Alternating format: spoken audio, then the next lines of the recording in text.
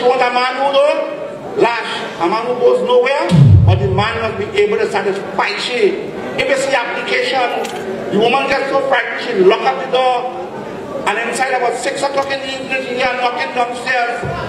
When she opened the door, waking up, hmm, a man in a wheelchair. She said, where do you, did I say? He said, yes. You say I want a man who don't lash, a man who goes nowhere, and the man will be able to satisfy you. He said, well, explain it. He said, first of all, I have no hands. I will never lash you. Look, I have no feet.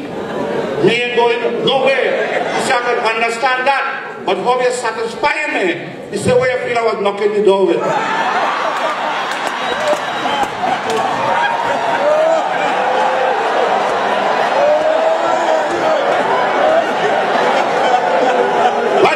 ladies and gentlemen.